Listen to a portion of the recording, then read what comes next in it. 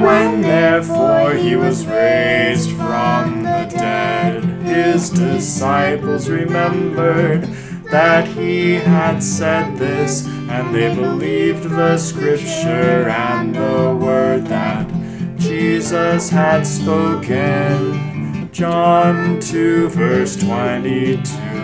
When therefore he was raised from the dead, his disciples remembered that he had said this, and they believed the scripture and the word that Jesus had spoken. John 2, verse 22.